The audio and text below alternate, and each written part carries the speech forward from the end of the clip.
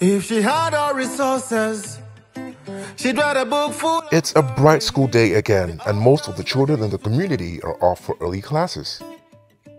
As usual, Grace, a young bright girl, can only look from the corridor of her home. Oh God, how I wish I was also dressed in my uniform to join them go to school. Hmm. Grace! Yes, mother. Where are you? You are running late. The boat must return to my Mesewa. And what's with the dropping face? Mother, when can I also join my friends too? Don't, Grace. We have discussed this already. Aside from the financial constraints, I have told you the walking distance to school is way too long for a child like you. But I wish to go to school and become an engineer one day. That schooling and engineering ambition can rest for now. You do as I say. Pick the items and off you go. Grace sadly leaves the house and makes her way to the town center to deliver the goods. There you go, Auntie Sewa. All I want is to be in school. How long will I continue to be left behind? The whole morning, as usual, was spent on errands, household chores, a little break, and more chores. Hello, Grace. We are back. Hope to see you soon. Sure, consider me there. Great. We have some new books you might be interested in. So, what's the answer to this one? It's Egypt. Oh, wow. You know the answer. That's incredible. Thanks. You are smart, and I'm wondering why you are still not in school. Grace.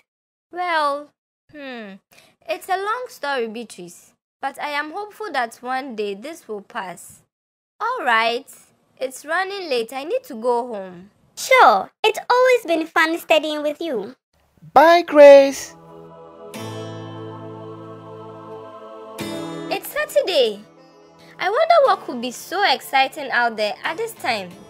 Mommy, can I go play with my friends outside, please? Sure. Right after your morning chores.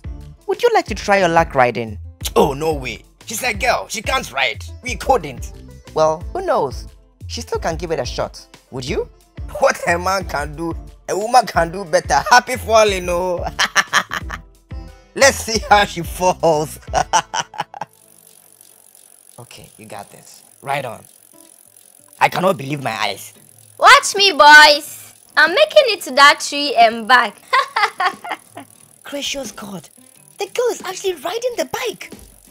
I'm loving this, Grace. Show the boys how to do it. Ah, she rides indeed. How was that? Awesome, Grace. You beat the boys in riding the bike. You have surprised all of us with your skill. I, I can't, I can't believe this. Can you do that again? Absolutely. Hooray! This is awesome. The first female biker in town. The boys had no choice than to follow her with cheers and jubilation. Soon it was time to return to the big city. Everybody was sad. Just when they were getting used to Abeku and the fun he brought to the kids, he had to leave. I have a little surprise for you, Grace.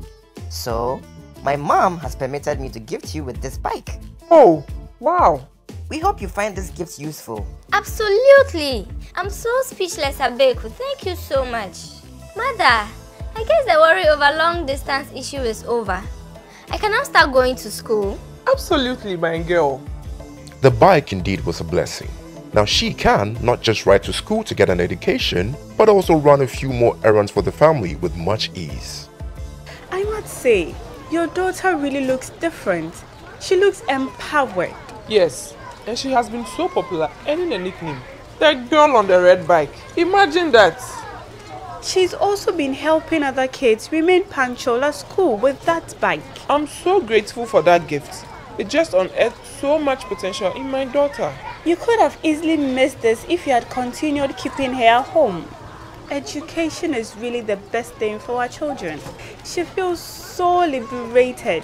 I have a feeling the bicycle will help her complete her education and prepare her better for jobs in the future.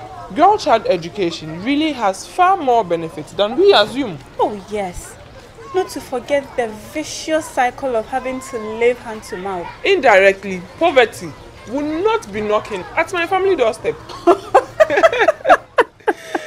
Thanks to education. Another good news, mother. I passed with flying colors. I am headed for higher education. That's my daughter. I'm so proud of you, Grace.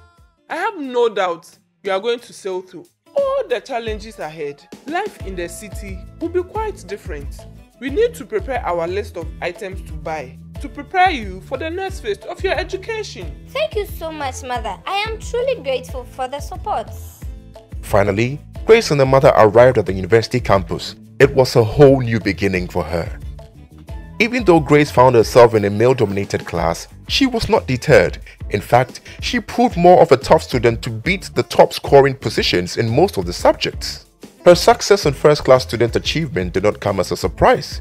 Grace became a successful engineer after graduating from the university.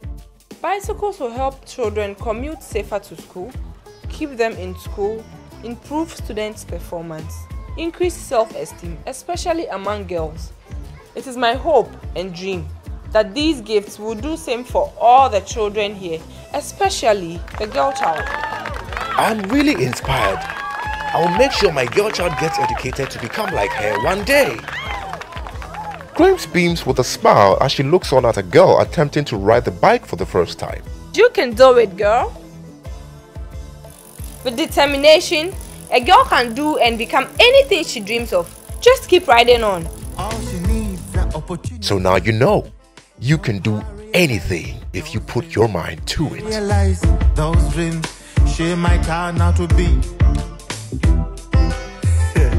Better than them.